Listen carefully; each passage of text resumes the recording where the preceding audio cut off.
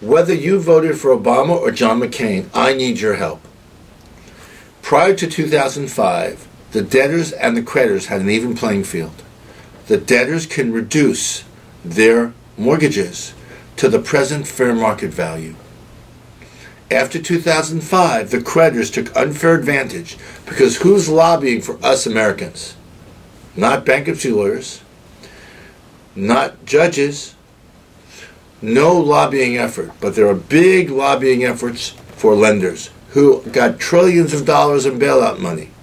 I'm asking you to help me convince our legislators in Washington and our president to reinstate the cram down so every one of you in America who have a loan that is over your mortgages can use the bankruptcy court supervision to reduce that loan to the present value. This bill was proposed earlier in the year, but it's lost track. And I feel as it loses track, we lose the love and care of our country. Instead of giving $12 trillion to these companies, they need to help Americans. Thank you very much, and let's go do this.